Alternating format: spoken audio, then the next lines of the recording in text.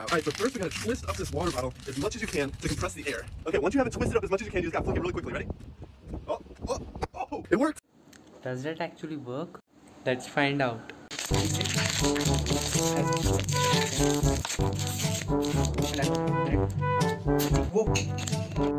It kinda worked.